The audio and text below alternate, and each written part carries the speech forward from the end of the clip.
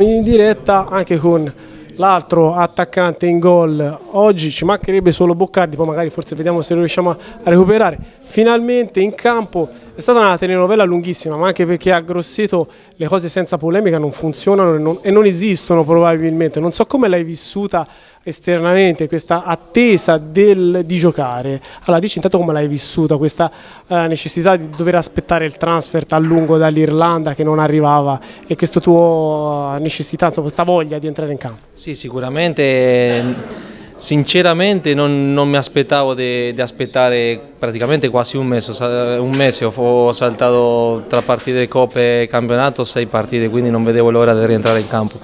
di dare qualche contributo alla squadra, per fortuna è arrivato per questa settimana è un esordio così bellissimo guarda, perché ritornare alla vittoria in casa con, facendo tre gol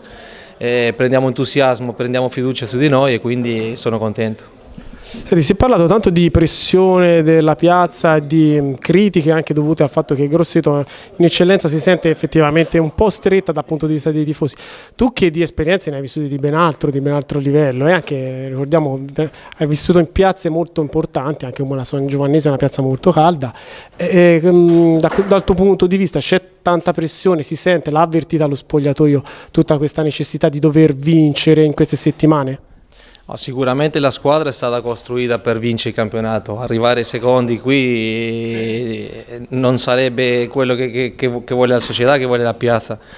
E quindi la pressione ci sta perché dietro abbiamo una piazza importante che vuole salire, che vuole fare bene, c'è 1300-1400 abbonati in eccellenza, sono poche le piazze che fanno in tutta Italia e quindi la pressione ci sta ma allo stesso tempo dobbiamo essere bene, la dobbiamo buttare dalla nostra parte questa cosa perché giocare in eccellenza con tutta questa gente ci deve essere un plus e non una cosa che ci resta. No? Dal punto di vista, visto che stai già allenandoti da diverso tempo, eh, fisicamente intanto ti chiedo come stai, se devi ancora migliorare, limare la forma atletica e eh, un giudizio sui compagni eh, a che punto stiamo dell'opera, questo Grosseto quanto può migliorare, visto che chiamato prima con Nicola Ciallini, insomma diciamo, abbiamo parlato un po' di miglioramenti, anche Mario Ceri ci ha detto che questa squadra può ancora migliorare un po' e te lo chiedo a te che sei sicuramente uno dei giocatori più esperti del gruppo e che poi dovrai anche guidare un po' i ragazzi in questo campionato di eccellenza. Io penso che dobbiamo migliorare perché così eh, in pratica abbiamo tutto il campionato davanti e dobbiamo migliorare di tanto, lo dicevo prima ai colleghi,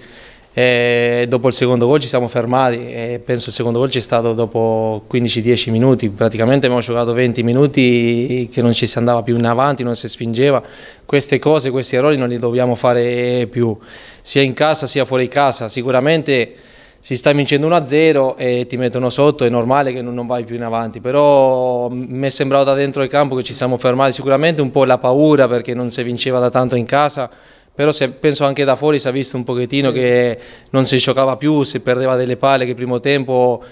mi è sembrato che la partita che abbiamo fatto il primo tempo era molto più aggressiva quella del secondo tempo. Sono sì. cose che non ci dobbiamo permettere da qui in avanti. Sì, per esempio il Cenaia c'era parso che era partito meglio nella ripresa, poi è arrivato il raddoppio di Boccardi, un altro giocatore che magari è anche fuori categoria, da quel punto di vista poi vi siete sbloccati? Cioè quello, questo può essere davvero la, la partita della svolta, anche te cosa ne pensi? No, secondo me quando abbiamo fatto il secondo gol era il miglior momento loro, quindi siamo stati fortunati in quel momento,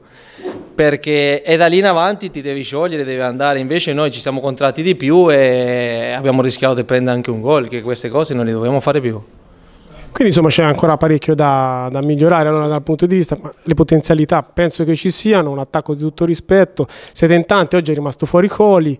eh, però una cosa che vi accomuna tutti quanti, il tifo sotto la curva alla fine della partita, è stata una prima emozione, un bel bagno, che, che impressione ti ha fatto anche questo, questa coreografia, questo tifo bianco-rosso a fine gara? No, no, è stato bello, infatti me lo aspettavo, conoscevo la piazza, quindi sono contento, sono contento, speriamo che la gente prenda entusiasmo, che ce l'ha già, ma sicuramente lo prenderà di più se noi riusciamo a portare più vittorie a casa. Allora ti ringrazio Walter e continua così, mi raccomando, perché qui c'è, se no c'è polemica tutte le settimane.